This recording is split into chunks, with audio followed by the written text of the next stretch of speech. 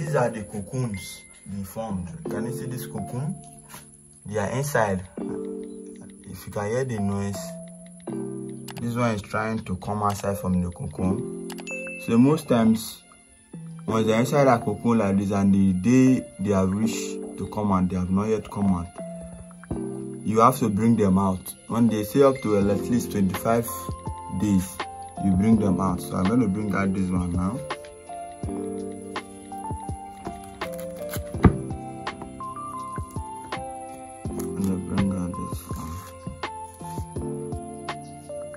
you have to be careful when you are losing them so that you now go and break or kill them inside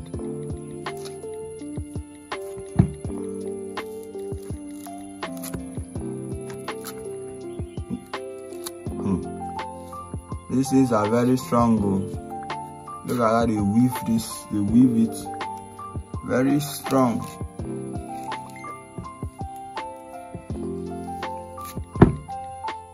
Can you see? Can you see? Welcome to the world. this is uh, this is a male. Look at the tentacle. This is a male. He's very happy. See? Very active.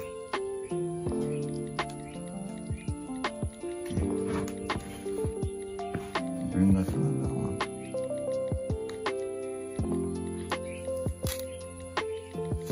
So all are trying to struggle. Once they turn to the weevil, they'll be trying to struggle to come outside. So as a farmer, just have to help them by bringing them out.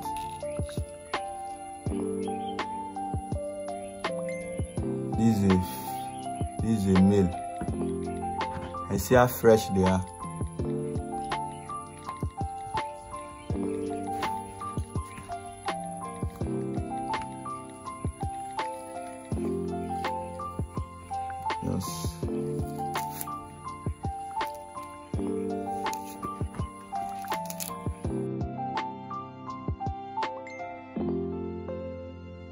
These are our palm weevil larvae we have put here to turn back to the